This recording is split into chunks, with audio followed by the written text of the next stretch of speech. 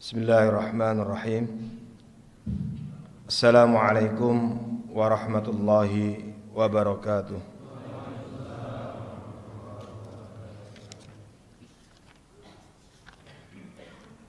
الحمد لله الحمد لله رب العالمين والصلاة والسلام على أشرف الأنبياء والمرسلين نبينا محمد وعلى آله وصحبه أجمعين. أما بعد فقال تعالى في كتاب الكريم أعوذ بالله من الشيطان الرجيم. ففروا إلى الله إني لكم منه نذير مبين. صدق الله العظيم. معاشر المسلمين والمسلمات حفظكم الله. Alhamdulillah pada malam hari ini kembali Allah Subhanahu wa taala mudahkan kita berada di raudhah min riyadil jannah, taman dari taman surga Allah di dunia. Semoga sebagaimana Allah mudahkan kita berada di taman dari taman surga Allah di dunia, semoga kita semuanya nantinya dimudahkan Allah untuk berkumpul di surga Allah Subhanahu wa taala. Amin ya rabbal alamin. Barusan tadi ada informasi bahwa Dr. Hazami, Ustazuna, beliau tidak bisa hadir. Beliau baru datang dari Papua, Manokwari, dari Papua Barat.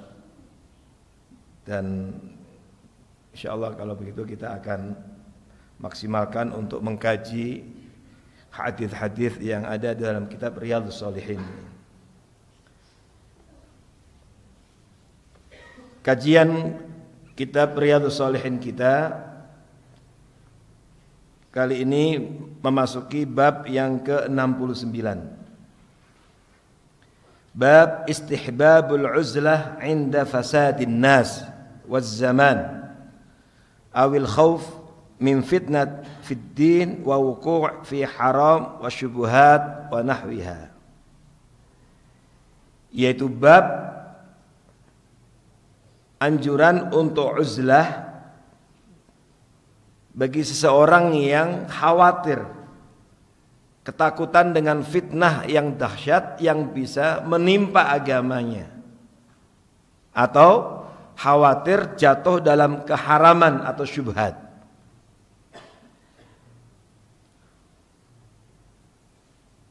Kalau mengkaji bab ini maka sebaiknya memang dipadukan dengan bab setelahnya. Yaitu harus dikaji dengan bab 70 supaya kita memiliki wawasan dan persepsi yang benar. Ketika Al-Imam An-Nawawi rahimahullah dalam Riyadhus Shalihin menyampaikan bab ini, itu tidak berarti kemudian yang namanya uzlah itu mengisolasi diri tidak bergaul dengan masyarakat itu lebih baik. Bukan itu maksudnya. Sebab kalau orang membaca bab ini mempelajari bab ini saja maka boleh jadi yang muncul adalah pemahaman tadi. Oleh karenanya nanti kita akan padukan dengan bab ke-70 bab fadlul ikhtilat bin nas Bab keutamaan berinteraksi, bergaul, bercampur dengan masyarakat. Jadi kalau seseorang hanya mengkaji ini maka boleh jadi muncul pemahaman yang kurang utuh. Nah barangkali ada yang bertanya, lalu kenapa ada bab 69, ada bab 70, bab 69 istihbabul uzlah dianjurkan untuk uzlah ketika berada dalam situasi kondisi seseorang tidak mampu untuk menghadapi fitnah yang dahsyat yang bisa menimpa kepada kualitas agamanya atau berpotensi besar menjatuhkan dirinya ke dalam sesuatu yang haram dan syubhat. Lalu ada bab 70 setelah itu Imam Nawawi mengatakan fadlul ikhtilat bin nas. Keutamaan berinteraksi bergaul dengan masyarakat. Seakan-akan sepintas kelihatan ada kontradiksi. Tetapi sesungguhnya tidak. Bagaimana memahaminya? Bahwa Al-Imam An-Nawawi dengan bab 69 ini ingin mengingatkan kita bahwa ada situasi dan kondisi di mana kadang-kadang kita dihadapkan pada fitnah yang dahsyat yang dikhawatirkan bisa menjatuhkan agama kita atau menjerumuskan kita, kita ke dalam sesuatu yang haram dan syubhat maka di situlah ketika kita uzlah ketika kita lari dari keadaan itu ketika kita menyendiri ketika kita memisahkan diri dengan komunitas yang bisa menjatuhkan kita ke dalam fitnah itu itu lebih baik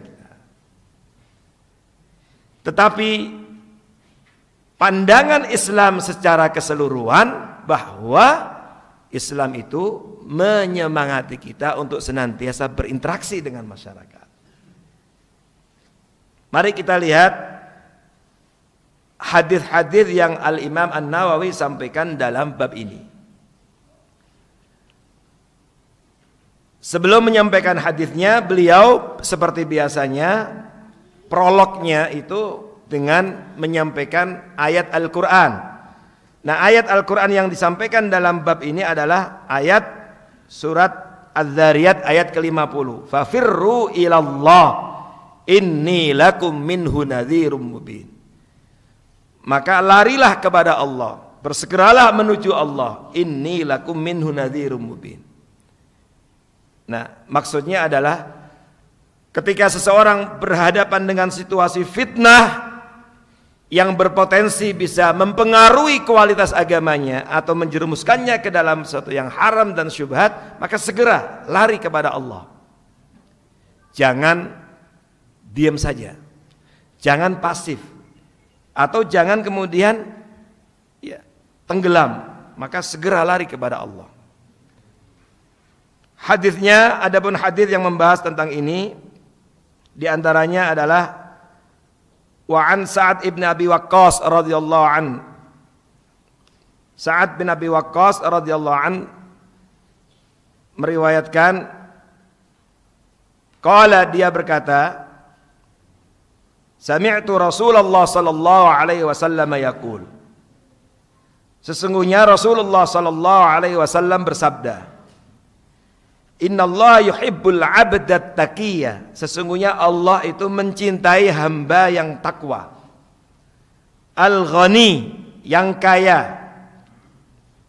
Al-khafi yang tersembunyi. Rawahu Muslim. Hadis ini diriwayatkan oleh Sa'ad ibn Abi Waqqas. Beliau mendapatkan dari Rasulullah sallallahu alaihi wasallam. Saat Ibnu Abi Waqqas itu sahabat yang punya banyak kontribusi dalam mendakwahkan Islam. Beliau adalah sahabat yang berjasa memimpin tentara kaum muslimin membuka menundukkan negeri Irak termasuk juga menundukkan kekuasaan kaisar dan beliau salah satu dari enam orang sahabat yang pernah ditunjuk oleh Sayyidina Umar bin Khattab untuk menggantikan beliau. Meskipun kemudian dalam prosesnya kemudian beliau ya semua sepakat untuk menjadikan Uthman bin Affan radhiyallahu an. Tetapi beliau masuk dalam tim enam. Berarti menunjukkan ya, kedudukannya yang strategis di kalangan sahabat-sahabat Rasulullah SAW yang senior karena beliau juga termasuk masuk Islam lebih dahulu dan termasuk juga ikut hijrah lebih awal ikut dalam perang Badar dan peperangan-peperangan yang lainnya. Beliau sangat terkenal dengan keberaniannya. Bahkan di antara julukannya adalah Farisul Islam. Farisul Islam. Faris itu dari kata furs itu penunggang kuda hebat. berarti memang seorang pemberani tentara yang luar biasa dan beliau dalam banyak peperangan di antara tugas yang selalu diembannya adalah sebagai dalam bahasa kita sekarang itu pas pampres. Jadi beliau yang bertanggung jawab berada di pada tingkat VVIP. Selalu menjaga Nabi dalam peperangan-peperangan itu berada di lingkaran VVIP. Ya, dalam bahasa kita sekarang untuk gampang memahaminya. Dalam banyak peperangan beliau menjaga Nabi. Jadi memang tidak semua orang karena kita tahu ketika sudah dajat apa terjadi peperangan peperangan itu adalah sebuah situasi yang kondisi yang perlu penanganan secara khusus. Nah, Nabi memilih termasuk di antaranya saat ibn Abi Waqqas. Karena kedekatannya dengan Rasulullah SAW, maka beliau mendapatkan apresiasi dari Rasulullah SAW. Di antara apresiasinya adalah Beliau sahabat yang beruntung pernah didoakan secara khusus oleh Rasulullah sallallahu alaihi wasallam. Dan Nabi sallallahu ketika mendoakan sahabatnya itu memang doanya terkadang tidak sama persis, beda-beda. Nah, jamaah yang aktif mengikuti Majelis Quran IKADI kok gabungan ini saya kira faham betul tentang Anas ibnu Malik yang juga termasuk sahabat yang punya kedudukan penting menemani Nabi dan kemudian didoakan panjang umur, diberkahi rezekinya, dibanyakan anak keluarga, diberkahi keluarganya, akhirnya menjadi manusia yang kaya raya, panjang umurnya dan keluarganya juga keluarga besar, anaknya banyak, 125 anak. Bininya berapa? Jangan tanya. Yang jelas nggak lebih dari empat. Kemudian saat Ibnu Waqqas termasuk yang didoakan. Apa doa Rasulullah SAW? Beliau mendoakan dengan sabdanya Allahumma saddid ramyatahu wa ajib da'watahu Ya Allah tepatkanlah panahnya karena beliau farisul Islam beliau orang yang luar biasa makanya dikenal sebagai farisul Islam pemberani dan luar biasa. Kalau sekarang mungkin penembak jitu. Apa itu bahasanya? Sniper. Allahumma sati dan betul testimoni dari para sahabat yang selalu bersama dengan saat bin Waqqas itu luar biasa. Tebasan-tebasan pedangnya itu nggak pernah ya, nggak pernah salah alamat. Kemudian ya, panahan-panahannya juga luar biasa dahsyat. Wajib da'watahu dan kabulkanlah doanya. Dan betul kemudian doa beliau termasuk doa yang banyak dikabulkan oleh Allah Subhanahu wa taala. Ada 200 ada 370 hadis yang diriwayatkan oleh Sa'ad bin Waqqas dari Rasulullah SAW dan karena beliau termasuk sahabat yang banyak mendapatkan amanah ya, wazifah ya, amanah tugas-tugas negara, beliau sempat menjadi pemimpin di beberapa negeri. Terakhir beliau wafatnya itu cukup jauh, ya. Beliau wafat di ya, di daerah ya di daerah dekat sana Mesir, Irak sana. Kemudian beliau dibawa akhirnya dibawa jenazahnya ke Madinah dan kemudian dikubur di Madinah.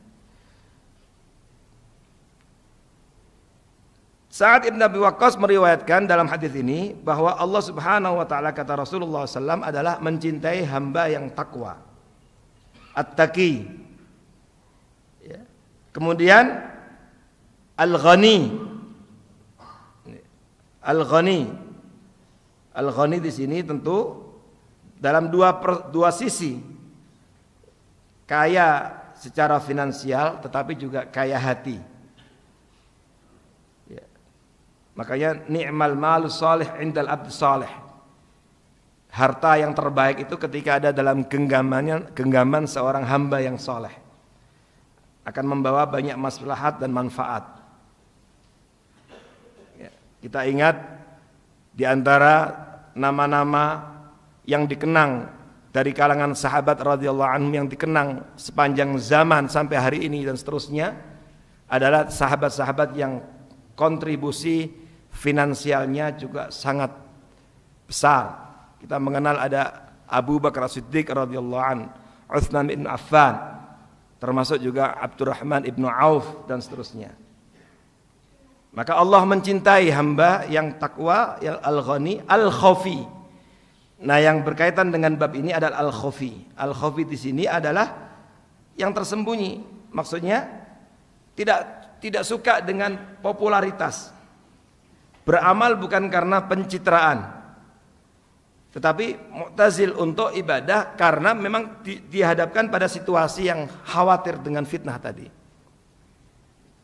Nah, tadi kita sampaikan ketika membaca hadis ini memahaminya seperti itu karena fitnah. Makanya Al Imam Ibnu eh, Al Imam An Nawawi mengatakan uzlah itu bagus ketika khauf min fitnah fid din wa wuku' fi haram wa syubhat. Wa illa kalau tidak maka uzlah itu bukan hal yang baik. Makanya nanti dipadukan dengan bab berikutnya. Jadi ini disebut khofi di sini kaitan dengan itu kaitan dengan tadi tidak suka popularitas tidak suka dengan pencitraan dan seterusnya dan betapa banyak ya kemenangan-kemenangan Islam kemenangan-kemenangan dakwah itu ternyata juga di antaranya ada peran dan kontribusi orang-orang yang tidak berada di lapangan tidak ber, tidak tidak kelihatan di lapangan atau tidak terpublish mereka jasanya juga peran dan jasanya cukup besar dalam mengantarkan kepada kemenangan, kejayaan Islam dan seterusnya. Nah, inilah al-khafi. Oleh karena itu, ini penting juga untuk kita pahami bahwa yang paling penting itu bukan apa posisi kita, tetapi yang paling penting adalah bagaimana kita memaksimalkan fungsi kita. Kemudian Melalui hadis ini berarti ya berarti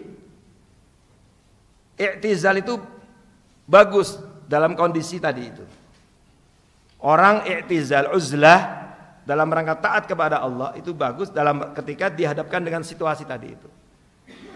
Artinya kalau dia tetap berada bersama dengan masyarakat yang sudah ya dalam kondisi yang tadi itu khawatir ada fitnah pada agamanya, maka dalam hal-hal tertentu, keadaan tertentu, dia mengisolasi diri itu bagus. Makanya para ulama mengatakan pendapat ini pun tidak disepakati oleh para ulama secara keseluruhan bahwa uzlah itu afdal kecuali dalam kondisi tadi itu. Justru kalau kita membaca hadis Nabi yang lain yang terkait dengan keutamaan ikhtilat bin nas, kita dapatkan ternyata bahwa ketika seorang ikhtilat dengan masyarakat, ketika seorang berinteraksi dengan masyarakat dan kemudian terlibat ya, berperan secara aktif dengan segala resiko yang dihadapinya dan dinamika yang dihadapinya itu justru khairun lebih baik. Dan itu akan datang hadisnya. Kemudian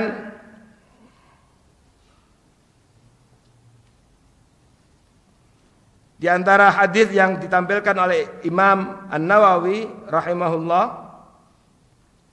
di dalam ya, bab ini adalah hadis dari Abu Sa'id Al-Khudri radhiyallahu anhu. Dari Abu Sa'id Al-Khudri radhiyallahu anhu Qala dia berkata, Qala rajulun seseorang pernah bertanya kepada Rasulullah sallallahu alaihi wasallam, Ayyun nasi afdal? Ya Rasulullah, siapakah manusia yang paling utama? Kemudian Nabi sallallahu alaihi wasallam menjawab, "Mu'minun mujahidun bi nafsihi wa malihi fi sabilillah." seorang mukmin yang berjuang binafsihi dengan jiwanya dan hartanya di jalan Allah. Qala thumma man? Kemudian siapa? Qala thumma rajulun mu'tazilun fi syi'bin minasyi'ab ya'budu rabbah. Seseorang yang mu'tazil, nah, uzlah. Fi syi'bin minasyi'ab. Syi'b itu be, apa? daerah be, bebukitan. Ya, daerah bukit Ya, jalan yang yang ada di sekitar bukit itu orang Arab mengatakan syi'ib. Maka kalau bapak-bapak, ibu-ibu ada yang mungkin pernah haji pada awal-awal dulu, itu di sana di dekat haram, haram itu Masjidil Haram itu ada namanya Syi'ib Amir. Nah, nah itu Syi'ib itu maksudnya itu karena itu ada pegunungan tapi sekarang udah hancur jadi hotel semua. Nah itu sela-sela antara jalan antara bukit itu namanya syi'ib yaitu seseorang yang mu'tazil i'tizal karena mengamankan agamanya karena kekhawatirannya jatuh dalam fitnah ya'budu rabbah untuk beribadah kepada Allah. Wa fi riwayatin yattaqillah bertakwa kepada Allah wa yad'un nasa min syarrihi dan menjauhkan dari masyarakat dari keburukannya. Artinya menyelamatkan agamanya dari keburukan yang terjadi pada saat itu. Muttafaqun alaih.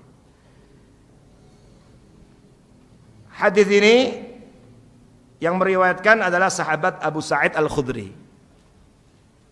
Abu Sa'id Al-Khudri ini populer dengan nama kunyahnya Abu Sa'id Al-Khudri. Tapi beliau punya nama asli. Hanya nama aslinya kurang kondang tidak begitu dikenal. Lebih populer dengan nama kunyahnya. Seperti Abu Bakar Siddiq itu nama kunyahnya. Abu Hurairah kita mengenal akrab dengan nama kunyahnya. Kunyah itu nama yang ada abu-abu itu. Abu Ummu Ibnu. Nama aslinya Sa'ad Ibnu Malik Ibnu Sinan.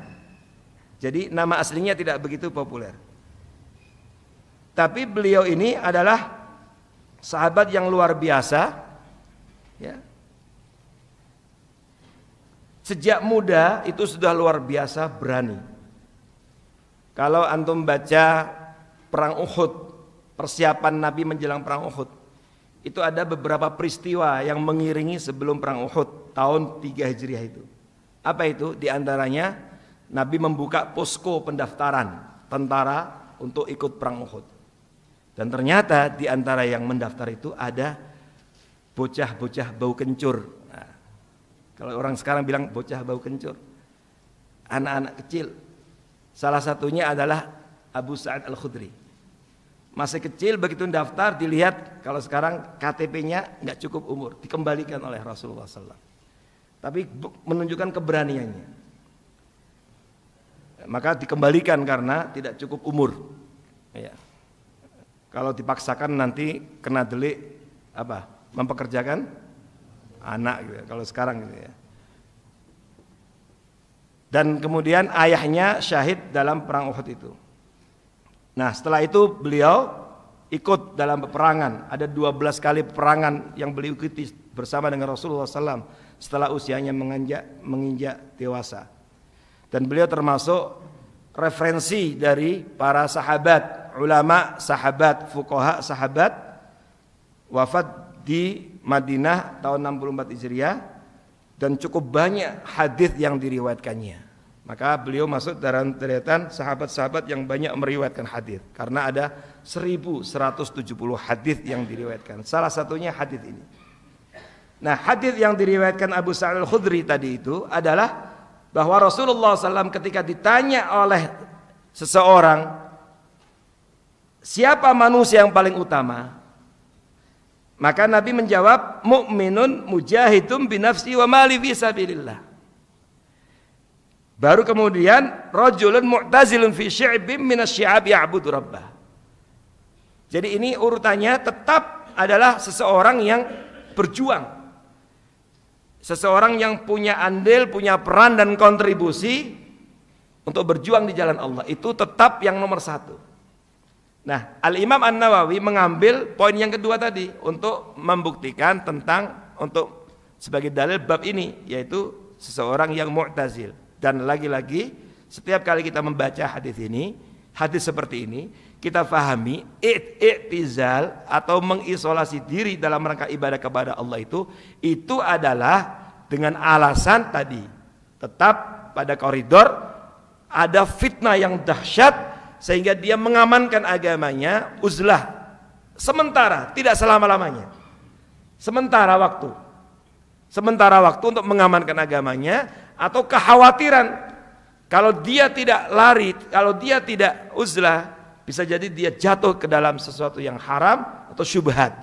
Maka uzlahnya ini uzlah muakkotah, tidak selama-lamanya. Sebab kalau selama-lamanya itu bukan ajaran Islam.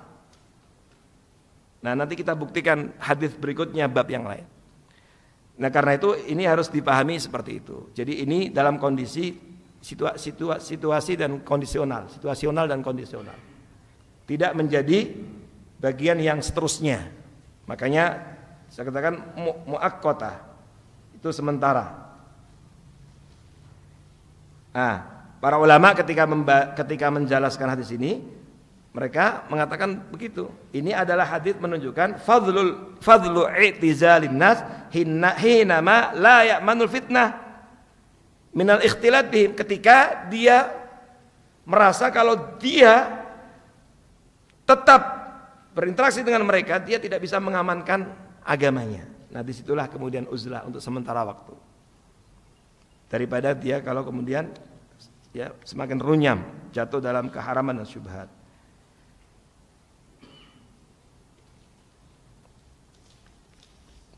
Taib dengan demikian ini adalah masalah situasional dan kondisional. Tidak boleh dipahami secara umum bahwa uzlah itu ternyata memang bagian dari ajaran Islam yang utama. Kenapa? Karena bab yang ke-70 Imam Nawawi memberikan nama bab ini panjang lebar untuk supaya apa agar kita tidak salah paham dengan bab yang sebelumnya. Nah, mari kita baca babnya, bab 70 ini. Imam Nawawi panjang sekali dan beliau kemudian ingin mengklarifikasi bahwa ketika saya menyampaikan bab 79 itu itu bukan eh, bab 69 yang tadi itu itu bukan sesungguhnya bukan selamanya seperti itu, tapi itu situasional dan kondisional. Apa buktinya? Beliau mengatakan pada bab 70 bab fadlul ikhtilat bin nas. Bab tentang keutamaan bergaul dengan masyarakat. Wa hudhuri juma'ihim wa jama'atihim. Menghadiri Jumatnya mereka. Maksudnya hari Jumatnya jamaah mereka. Wa masyahidul khair acara-acara kebaikannya. Wa majalis zikir menghadiri majelis zikir bersama dengan mereka. Wa iyadatu menjenguk yang sakit. Wa hudhuru janaizihim menghadiri jenazahnya ketika ada yang meninggal dunia wa muasat muhtajihim. Kemudian membersamai saudara-saudaranya yang lagi membutuhkan. Wa irsyadu jahilihim. Menunjukkan saudara-saudaranya yang tidak tahu kemudian diberikan pencerahan. Wa ghairi dzalika mimma salihim. Dan segala hal yang terkait dengan kepentingan-kepentingan masyarakat. Liman qadira 'alal amri bil ma'ruf wan nahyi anil munkar. Bagi orang yang memang memiliki kemampuan untuk amar ma'ruf nahi munkar wa qam'i nafsi anil idza wa sabri al adza dan inilah yang kemudian menjadi ya manhaj salafun saleh dan ini yang kemudian diajarkan oleh Rasulullah sallallahu alaihi wasallam kepada para sahabatnya. Makanya kita tidak pernah membaca setelah Rasulullah SAW menerima wahyu kemudian beliau melakukan uzlah. Uzlah itu kan sebelumnya tapi begitu menerima wahyu langsung beliau sebarkan dan itu yang diajarkan kepada para sahabatnya dan kemudian itu diikuti oleh para tabi'in, tabi tabi'in, ulama-ulama kita, kiai-kiai kita, habaib kita dan inilah yang kemudian menjadikan Islam ini tersebar. Coba kalau seandainya uzlah itu sebagai sesuatu yang ya pijakan utama dan kemudian prinsip utama tentu Islam tidak tersebar seperti yang ada di banyak apa di dunia ini, di bumi Allah termasuk di Indonesia ini.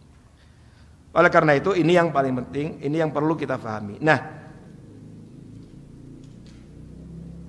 hanya saja, nah ini yang kemudian kita apa uh, ada banyak pertanyaan, ada beberapa pertanyaan ketika membahas bab 70 ini pada Riyadhus Shalihin. Hanya saja Al Imam An Nawawi ketika membahas bab 70 ini anehnya beliau tidak menghadirkan hadis satupun karena dipersepsikan, diasumsikan kita yang membaca ini sudah maklum. Ini masalah yang maklum bidini biddarurah. Sesuatu yang maklum dalam agama sehingga setiap muslim pun insya Allah sudah paham. Nah, mungkin jamaah kita juga dianggap sudah paham juga. Beliau hanya mengatakan wal ayat fi makna ma dzakartu katsirah ma'lumah. Ayat dalam masalah ini banyak sehingga beliau nggak perlu menjelaskan. Di antaranya beliau ayatnya wa ta'awun al birri wat taqwa. Setelah itu nggak ada hadisnya. Nggak ada satupun hadis yang disebutkan dalam bab ini. Karena dianggap kita diasumsikan sudah pintar semuanya, sudah faham. Karena kalau kita sudah berada pada bab 70, berarti ada 69 bab yang sudah kita pelajari. Dan alhamdulillah sudah kita selesaikan di majelis Al-Qur'an IKADI ini 69 bab. Ya, yang nggak perlu saya ulang satu sampai ini. Artinya bab-bab yang kita pelajari sebelumnya itu itu sesungguhnya sudah merupakan terjemahan dari bab ini. Nah, hanya ada satu hadis yang menjadi hal yang penting yang harus juga menjadi pijakan dalam kita mengamalkan bab ini. Sehingga kita pun juga harus selalu membersamai umat, membersamai masyarakat, membersamai bangsa ini dalam dengan seluruh dinamikanya. Apa? Yaitu hadis sahih ada dalam kitab Musnad Imam Ahmad. Ada juga di dalam kitab Sunan At-Tirmidzi. Yaitu Rasulullah SAW hadis ini sahih ya. Rasulullah SAW bersabda Al-mu'minul ladzi yukhalitun nas. Orang mukmin yang bergaul dengan masyarakat. Wa yasbir ala adahum dan kemudian sabar dengan segala dinamika yang dihadapinya. Dia berinteraksi, namanya berinteraksi dengan masyarakat, ya macam-macam masyarakat yang dihadapinya. Ada masyarakat yang tahu, kemudian tidak mengamalkan apa yang diketahui. Ada masyarakat yang pura-pura tidak tahu, ada masyarakat yang benar-benar tidak tahu. Ada yang memusuhinya, ada yang mencelanya, macam-macam. Ada yang mendukungnya, ada yang mensupportnya. Dia bergaul dengan masyarakat, semua elit masyarakat. Dia membersamai problematika umat, membersamai. Jadi bukan uzlah, tapi membersamai. Yukhalid, mukhalatoh. Kemudian sabar dengan segala dinamika yang dihadapinya. Sabar dengan segala kesakitan dan perjuangannya luar biasa. Mungkin berat menghadapinya, tapi dia sabar. Apa kata Nabi? Afdol. Lebih utama kalau versi riwayat yang lain khairun, ada riwayat yang lain dengan versi riwayat khairun lebih baik. Lebih utama. Minan mu'minil ladzi la yukhalitun nas wa la yasbir ala adhahum daripada orang mukmin yang kemudian uzlah. Diajak dakwah nggak mau. Udahlah nggak mau. Maunya hidup sendiri. Maunya menyendiri saja. Dengan berbagai macam dalih Kata Nabi, afdal mukmin yang seperti tadi itu afdal daripada mukmin alladzi la yukhalitun nas yang tidak pernah membersamai masyarakat. Tidak bergaul dengan mereka. Wala yasbir ala adzam dan kemudian tidak sabar dengan dinamika yang dihadapinya. Baru dikatain uh, diberikan stigma, ah udah malas berdakwah. Enggak mau lagi. Kemudian atau mutungan, uh, mutung. Atau maunya cepat pensiun dini dari dakwah. Nah, kalau pensiun dini dari pejabat enak itu dapat pensiun dini. Ah saya nggak mau. Termasuk dengan dalih ibadah khusus itu juga tidak dibenarkan. Dan kena dari mana? Karena ternyata ini yang dipahami oleh salafun saleh, para ulama-ulama kita dulu juga seperti itu. Dan itu praktek apa yang diajarkan Nabi kepada para sahabatnya seperti itu minta izin udahlah saya mau pensiun dulu enam bulan. Mau pensiun setahun ini saya nggak mau mau coba. Hatta dengan dalil misalnya mau saya konsentrasi menghatamkan Quran 30 juz misalnya. Itu juga bagi sebagian ulama tidak baik. Bayangkan kalau yang izin seperti itu 30 juta berapa orang yang kemudian berdakwah? Nah, Artinya dan ini yang kemudian dipahami juga oleh sahabat Rasulullah SAW. Al Imam Ash-Sha'bi seorang ulama tabiin pernah menceritakan apa yang dilakukan oleh Abdullah ibn Mas'ud radhiyallahu an sahabat Rasulullah SAW yang tinggal di Kufah. Abdullah bin Mas'ud ini kan termasuk tinggal di Irak dan beliau membuat madrasah di sana, membuat pengajian maka orang-orang Irak itu berhutang budi kepada Abdullah bin Mas'ud karena menyebarkan Islam, mengajarkan hadis Nabi itu Abdullah bin Mas'ud di sana, Kufa, Basrah. Tapi tinggalnya pernah beliau ketika ada di sana itu kemudian dihadapkan dengan fitnah dan kita tahu Irak ini memang dari dulu memang fitnah. Irak ini memang negeri yang yang punya sejarah panjang dengan problematika dan dinamika yang umat itu. Irak itu. Sampai sekarang juga terus bergejolak kan. Irak. Bahkan kalau kita belajar hadis itu ya Irak itu disebut dengan Darul Negeri yang memproduksi hadis palsu.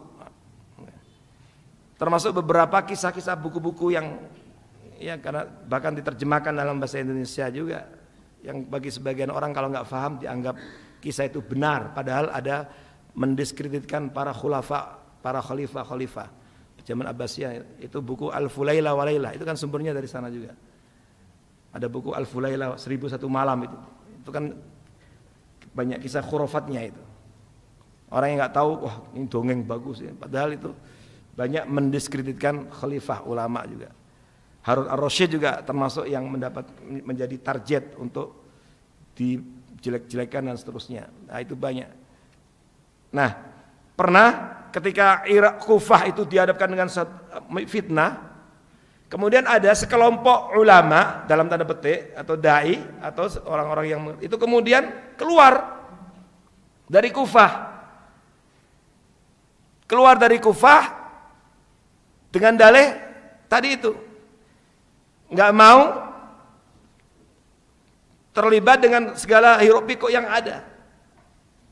Kemudian ingin mengaman, ingin apa? Ingin mengamankan agamanya dan seterusnya dengan dalih ibadah supaya bisa khusyuk ibadah.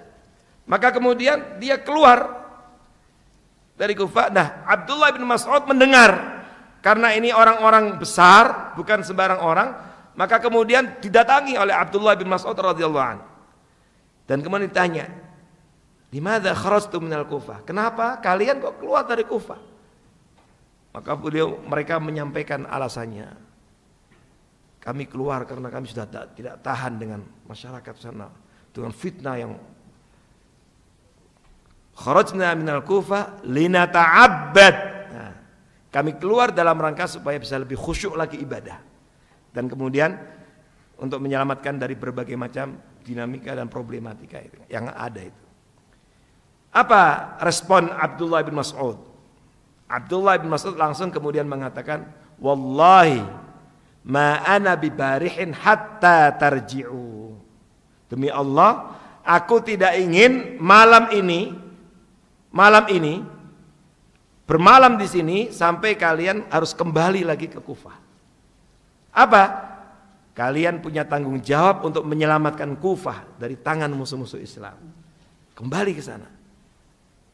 Nah, jadi Inilah yang dipahami oleh Abdullah Mas'ud untuk mengamalkan hadis tadi. Al mu'minul ladzi yukhalitun nas wa yasbir ala adzahum afdal minal mu'minil ladzi la yukhalitun nas wa la yasbir ala adzahum. Maka dengan demikian hatta dengan dalih lina ta'abbad tadi alasannya untuk ibadah itu ternyata bukan menjadikan hal yang baik. Padahal Jelas itu satu yang penting, tetapi ternyata ketika dihadapkan dengan kondisi yang seperti itu, sementara mereka sangat dibutuhkan dakwahnya, sangat dibutuhkan peran dan kontribusinya, maka oleh Abdullah bin Mas'ud disuruh kembali lagi, suruh masuk lagi ke Kufah. Nah ini pemahaman yang dipahami oleh salafun saleh, sahabat radhiyallahu anhu untuk mengamalkan ini. Nah inilah yang kemudian harusnya jadi pijakan. Jadi bahwa uzlah ini kondisional, situasional. Nah inilah juga yang harus kita husnudhoni. yang kita khusnudzani ketika kita melihat ada beberapa ustadz, ada beberapa syekh, ada beberapa ulama yang mungkin mengambil sikap seperti ini, kita khusnudzani itu situasional dan kondisional. Bukan selama-lamanya. Sebab kalau uzlah selama-lamanya, ternyata bukan itu yang dipahami oleh salafun saleh. Bahkan sampai-sampai ada seorang ulama dulu menyindir kawannya sesama ulama juga yang asyik masuk ya, dengan ibadahnya di tanah haram. Langsung dia buat syair, dia menyenandung, dia buat syair untuk menyindir kawannya di saat ya, Islam dalam kondisi yang sangat membutuhkan peran dan kontribusinya. Eh, di saat itu dia asyik dengan ibadahnya meskipun di tanah haram.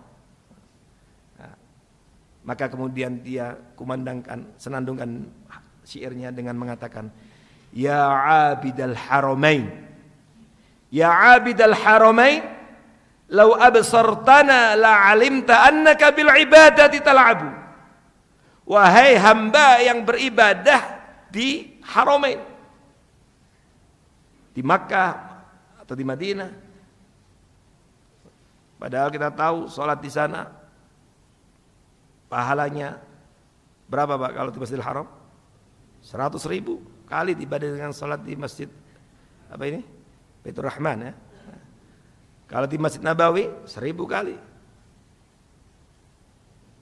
Tapi oleh disindir ya abidul haramain wahai hamba yang beribadah di haramain lau absartana kalau engkau mencermati dengan baik memikirkan dengan baik apa yang kau lakukan ini di saat umat membutuhkanmu di saat ya, masyarakat membutuhkanmu di saat ini.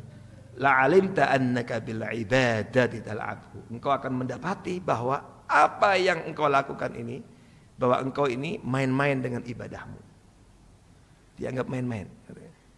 Karena aslinya kesempurnaan ibadah seorang itu adalah ketika mampu melahirkan dampak sosial yang positif bagi kehidupannya.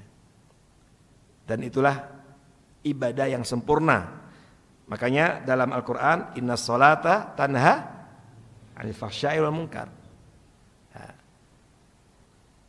Makanya dalam Al-Quran juga Allah menyampaikan empat kunci utama yang bisa membawa kepada kebahagiaan dan menyelamatkan seorang dari kerugian dunia dan akhirat adalah wal asr innal insana lafi khusr illa alladzina amanu wa amilus salihat wa tawasau bil haqqi wa tawasau bis sabr.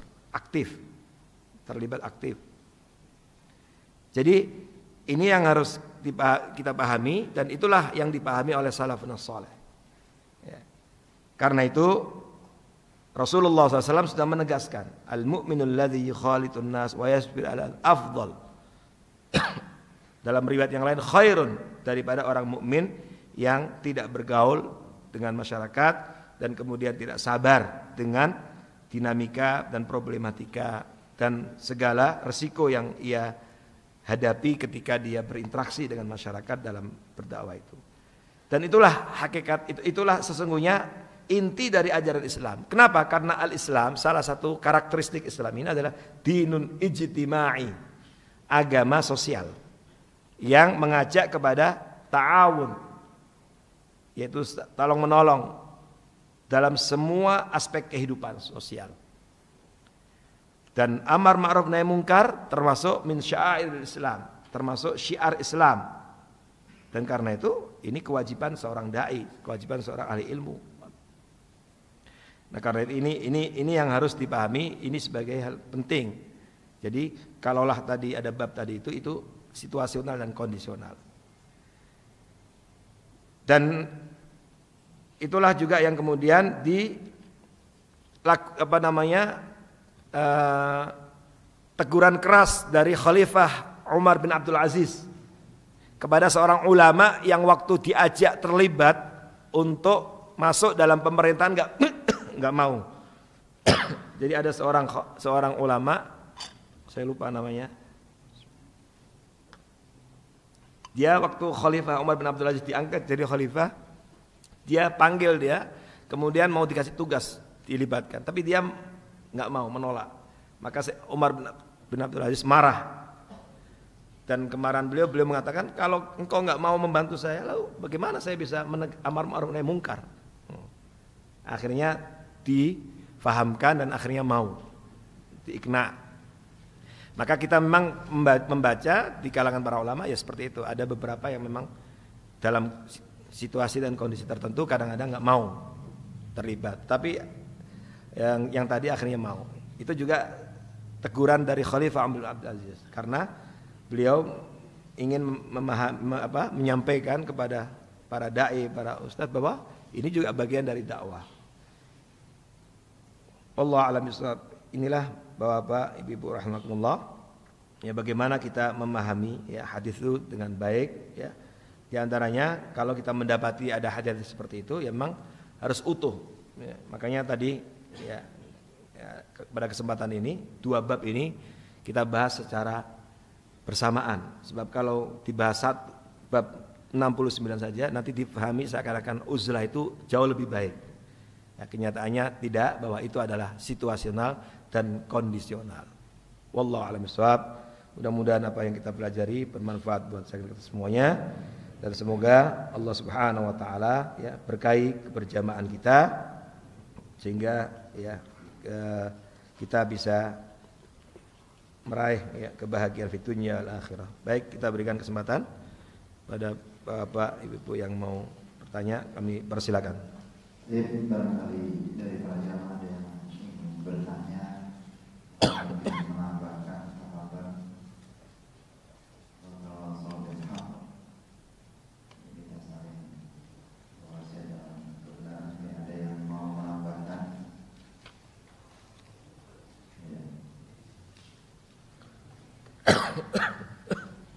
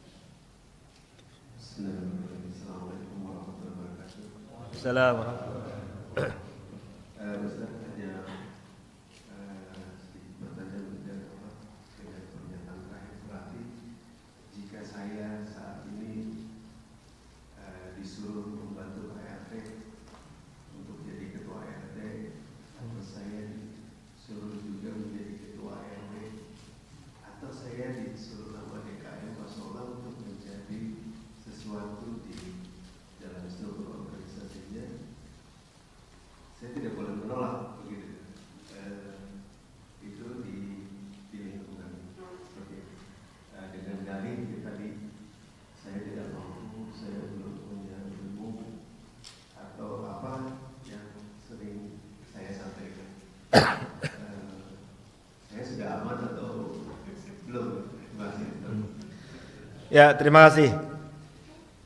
Bapak-bapak, Ibu rahimakumullah, ya, bagus sekali ini pertanyaan yang realistis ya. Dan terkadang memang ya ada sebagian kawan-kawan kita yang ya muncul hal-hal seperti tadi itu.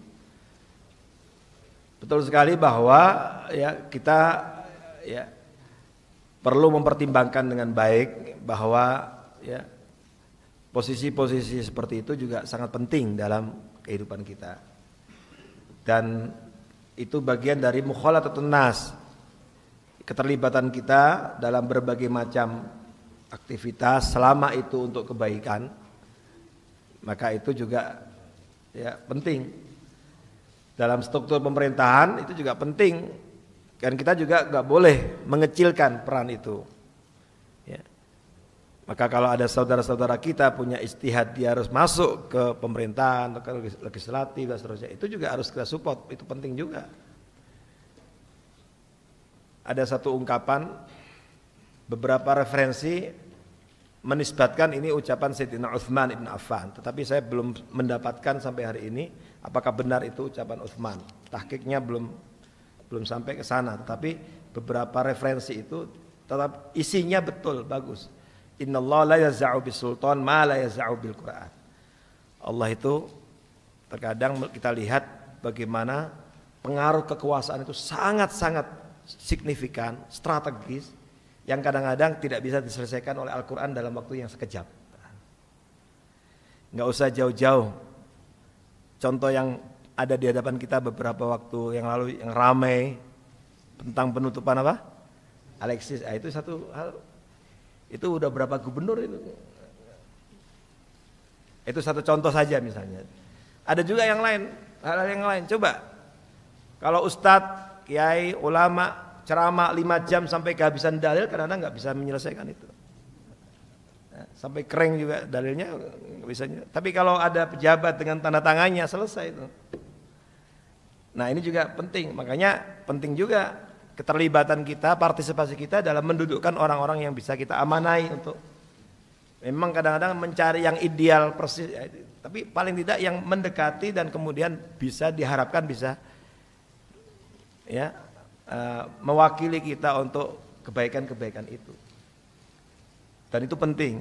Oleh karenanya ini juga penting tadi. Meskipun RT, RW itu ya. ya. Tetapi kadang-kadang yang seperti itu memang perlu istihad jama'i. Jangan istihad fardi. Supaya nanti bisa juga dipantau oleh kawan-kawan yang lain. Nah, sehingga terus bisa dievaluasi, melaporkan perkembangannya sehingga ada support juga. Karena RT RW juga strategis juga ya DKR itu bagus keterlibatan dalam memakmurkan masjid itu amal mulia bukankah dalam hadis sahih Rasulullah SAW menyampaikan kepada kita di antara sab'ah yudhilluhumullah fi dhilli yawma la dhilla illa dhillu tujuh kelompok manusia yang mendapatkan naungan pada hari tidak ada naungan kecuali naungan Allah siapa di antaranya warajulun qalbuhu Mu'allakun bil masjid, seseorang yang hatinya selalu terpaut dengan masjid. Kalau udah ketua DKM atau pengurus DKM kan berarti bukan hanya nyantol bukan hanya nyantol lagi. Ya. Bukan emang pas itu bagus berarti. Nah, ini juga tentu uh, penting ya ditambah tentu dengan kerjasama dengan yang lain dengan ini. Tetapi kalau ada kesempatan kemudian ada apa kepercayaan dari masyarakat yang mereka melihat ada potensi pada kita dan kita bisa melakukannya dengan ta'awun dengan yang lainnya uh, saya kira bagus makanya perlu juga bantuan dari yang lainnya Wallah jadi posisi-posisi seperti itu juga tentu penting juga gitu dan yang penting bahwa kita tidak mengharapkan, tidak terlalu tamak dengan posisi itu. Itu makanya tadi saya katakan tidak terlalu penting posisi kita di mana, tapi yang paling penting itu adalah memaksimalkan fungsi kita. Dan Islam ini tersebar luas, keberhasilan Rasulullah SAW membangun peradaban umat manusia merubah dunia ini juga, di antaranya ada beberapa sahabat-sahabat yang mungkin tidak kelihatan perannya di permukaan, tetapi mereka dicatat sebagai manusia yang dikenang sepanjang zaman. Kan macam-macam, enggak semua sahabat itu ya dikenal apa dengan jihad malnya. Ada yang dikenang karena suara merdunya. Ya. Ada sahabat Bilal bin Rabah itu kan muadzin Rasul, tukang azan Nabi. Beliau dari Habasa, Ethiopia, hitam. Tapi subhanallah, sekali azan beliau banyak membuat sahabat menangis kenang sepanjang zaman. Ada sahabat yang ahli ya mengubah syair atau kalau sekarang itu sastrawan lah. Ya. Puitis syair-syairnya luar biasa membangkitkan menggelorakan semangat jihad, semangat juang. Syair Rasul Abdullah ibn Abi Rawahah itu itu kan terkenal dengan syairnya. Tapi ada juga yang dengan finansialnya, ada juga dengan wibawanya, harismanya. Ya. Sayyidina Umar itu yang ditakuti oleh musuh-musuhnya, bahkan setan pun takut. Ada juga dengan kemampuan finansialnya, jadi semua bersinergi. Nah, ini penting karena itu ya ya yang penting selama kita mampu dan bisa dan kemudian ada kerjasama, saya kira bagus. Wallah alam Mungkin ada satu pertanyaan terakhir.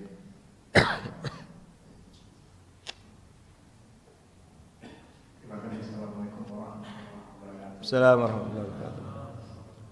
Uh, saya mungkin agak sedikit bimbang Ustaz tentang uzlah. Uh, uzlah itu tadi Ustaz bilang kan tergantung situasi dan kondisinya.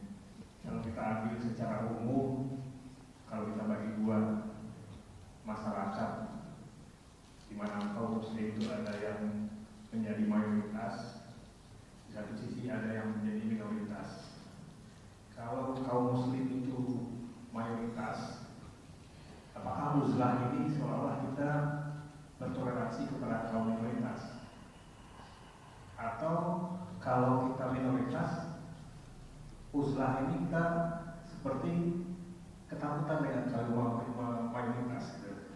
karena menurut pendapat saya pribadi sebenarnya kalau lihat dari sejarah Islam kan tidak perlu kita berjihad bukannya mengalah gitu. mungkin ini perlu penjelasan mungkin bagi saya pribadi Ustaz. terima kasih assalamualaikum warahmatullahi wabarakatuh Assalamualaikum warahmatullahi wabarakatuh. Ya, jadi eh, seperti yang tadi kita sampaikan bahwa memang ketika membahas masalah ini itu memang cakupannya luas. Eh, Termasuk kayak tadi ketika Imam Nawawi mengatakan istihbabul uzlah. Ya, kalau bahasa istihbab itu kan dianjurkan, disunnahkan. Seakan-akan memang itu bagus dan itu memang situasional. Jadi memang tidak melihat tidak melihat minoritas atau mayoritas menurut saya, tetapi situasi, ya, situasi kondisi yang kadang-kadang di satu tempat berbeda dengan tempat yang lain. Yang kadang-kadang di satu negara juga berbeda dengan negara yang lain. Yang kadang-kadang di satu ini berbeda. Ya, artinya uh, ini kembali kepada situasi. Ya. Termasuk seperti yang di, apa yang dihadapi oleh sebagian saudara kita. Kan kita sebagian saudara kita yang minoritas di beberapa negara-negara yang mayoritas non muslim itu juga memang juga nggak sama perlakuan. Kalau antum baca Kanada itu luar biasa. Negara Kanada itu terhadap apresiasi terhadap muslimnya juga luar biasa. Dibanding dengan negara-negara yang lain, bahkan negara Kanada itu adalah negara non muslim yang paling banyak menerima, menampung siapa? Korban perang perang Suriah. Itu diperlakukan dengan sangat manusiawi luar biasa ditampung di ini nah, dibanding dengan negara yang lain nah, bahkan negara sebagian negara Islam pun kemudian nggak mau malah menampung luar biasa. Dan artinya ya tadi jadi memang hal seperti ini kadang memang termasuk eh, apa yang terjadi ya, belakangan ini kemarin yang kita ramai dulu kasus di DKI dan seterusnya. Itu ternyata juga dipahami oleh saudara, oleh sebagian saudara kita di negara-negara non muslim itu ternyata memang ter, apa enggak enggak semuanya benar pemahamannya karena dipengaruhi oleh media dan seterusnya sehingga kadang-kadang ada respon balik yang negatif juga terhadap mereka karena ada beberapa media yang memang memutarbalikkan fakta sehingga mereka hanya melihat di permukaan nggak tahu detail apa yang terjadi sebenarnya Nah, sehingga muncul fitnah terhadap sebagian saudara kita juga di beberapa tempat. Jadi kembali bahwa memang ini uh, situasi. Kalau menurut saya tidak melihat kepada mayoritas minoritas, tapi memang lagi-lagi memang situasional dan kondisional dan kadang-kadang juga satu daerah dengan daerah yang lain pun berbeda. Ya. ya. Jadi uh, jadi memang harus di, dilihat pada kondisi real di mana kita berada. Tetapi secara umum, secara umum bahwa yang terbaik adalah tetap dan ini pendapat jumhur ulama. Sebab pendapat yang tadi itu seperti Imam Nawawi juga mengatakan tetap yang namanya ikhtilat itu ya bergaul, membersamai masyarakat itu tetap jauh lebih baik. Ya.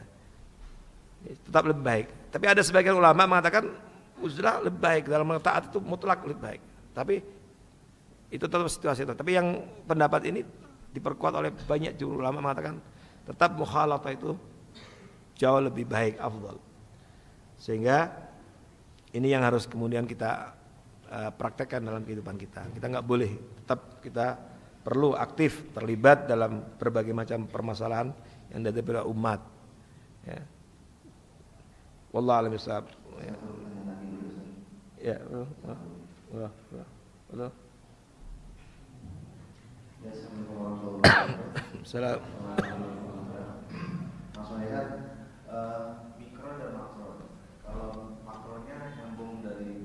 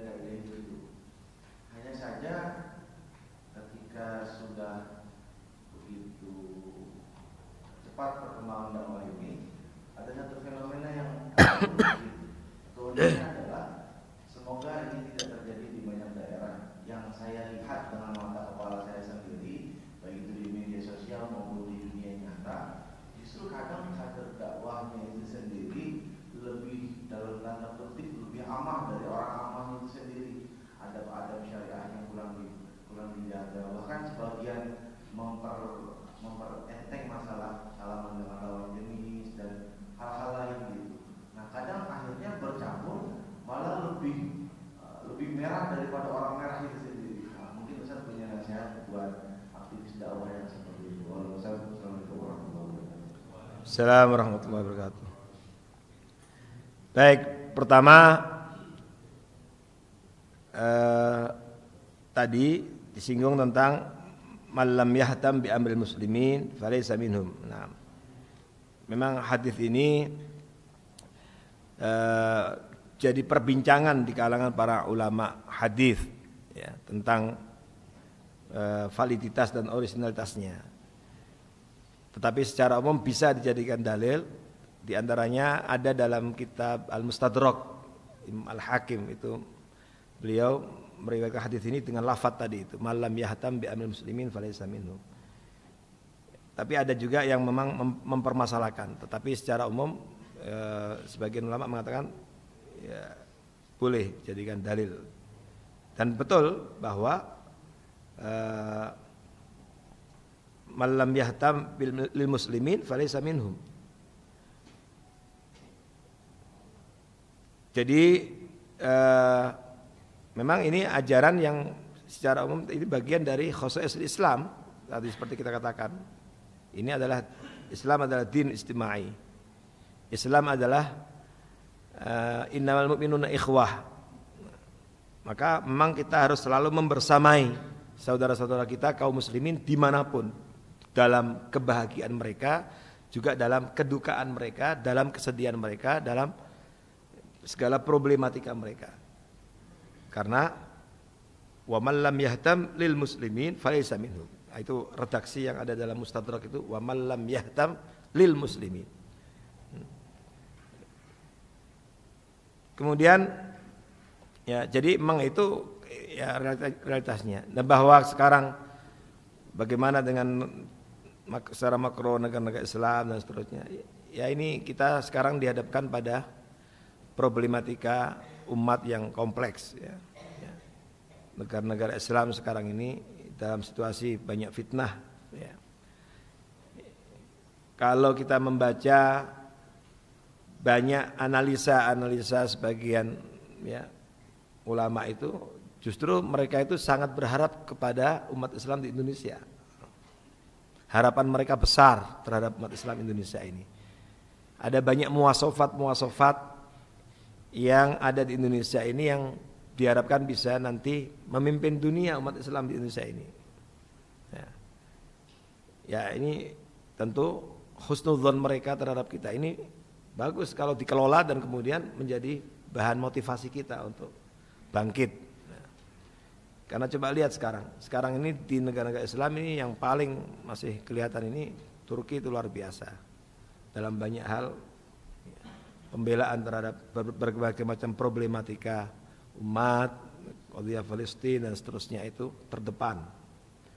Dan mereka juga punya izah karena ekonominya juga dahsyat kemajuannya. Dan ya sudah banyak disuarakan, sudah banyak disuarakan, ya memang tinggal menunggu ya. Dan harapan kita Indonesia ini harusnya bisa memerankan peran yang lebih maksimal karena punya tempat yang strategis dari sisi jumlah penduduk muslim terbesar di dunia juga dalam sisi yang lain. Ya itu harapan kita.